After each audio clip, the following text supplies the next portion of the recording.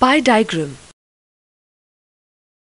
A pie diagram or a pie chart is one of the forms of graphical representation of statistical data.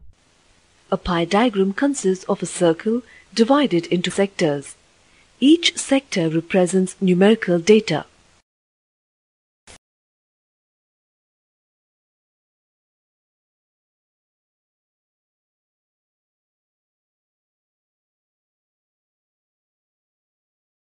Understand pie diagrams with an example. There are 60 students in a class. 10 of them passed in first grade, 25 in second grade, 20 in the third grade and 5 students failed.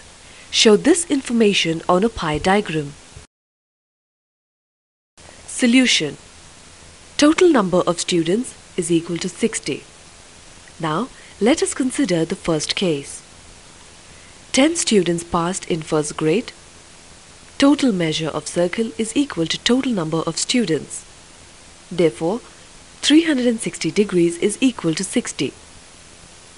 Measure of sector is equal to 10 by 60 into 360 degrees equal to 60 degrees. Now, let us draw the pie diagram representing this.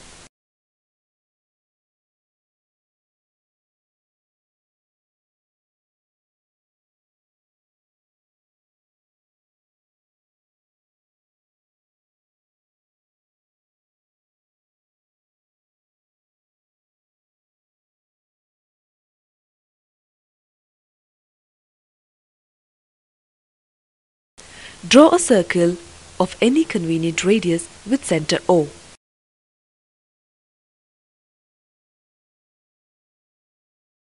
Draw a radius OA.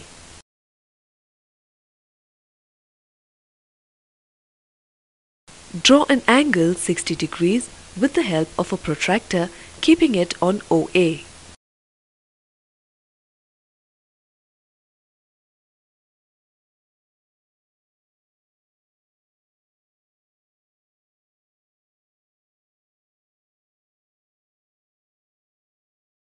Similarly, we shall find the measures of the number of students who passed in second and third grades and also for the number of students who have failed.